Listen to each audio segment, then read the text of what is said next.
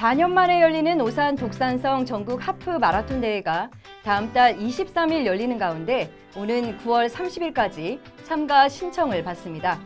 참가 종목은 하프 마라톤과 10km 단축 마라톤, 4.8km 건강 마라톤 등 3개 종목으로 신체 건강한 남녀 누구나 참여할 수 있는데요. 이 밖에도 경품 이벤트와 다양한 먹거리, 볼거리가 준비된다고 하니까요.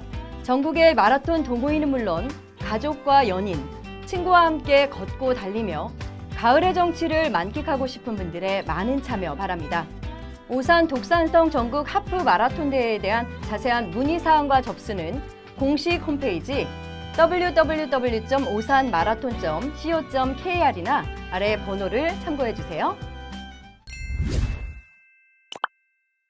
오산시를 넘어 경기도 대표 관광축제로도 선정됐던 오산 독산성 문화제가 오는 10월 1일부터 이틀 동안 세교 고인돌공원에서 개최됩니다. 지난 2013년부터 이어온 오산 독산성 문화제는 1500년의 역사를 가진 독산성과 세마병법의 기지로 왜군을 물리친 권율 장군을 테마로 한 역사 문화 축제인데요. 지역 예술인들이 펼치는 화려한 공연과 전시, 아이들에게 특별한 추억이 돼 조선시대 과거 시험 등 다양한 볼거리와 체험거리가 펼쳐진다고 하니까요. 이번 주말 나들이는 고민하지 마시고 오산 고인돌공원으로 놀러오세요. 10회 경기 정원문화박람회가 오는 7일부터 4일 동안 오산 말금터공원과 오산천, 마을정원 일원에서 개최됩니다.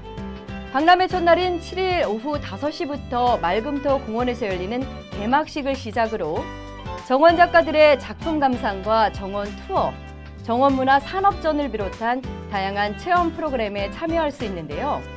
아이부터 어른, 초보자부터 전문가까지 누구나 참여하고 공유할 수 있는 다양한 정원 문화를 통해 올해 경기 정원 문화 박람회의 주제이기도 한 식물의 힘과 소중함을 함께 느껴보시기 바랍니다. 축제의 계절 가을입니다. 오산시의 다양한 볼거리, 즐길거리와 함께 이번 주도 즐겁고 행복한 한 주 보내시길 바랍니다. 지금까지 아나운서 박소희였습니다. 시청해주신 여러분 고맙습니다.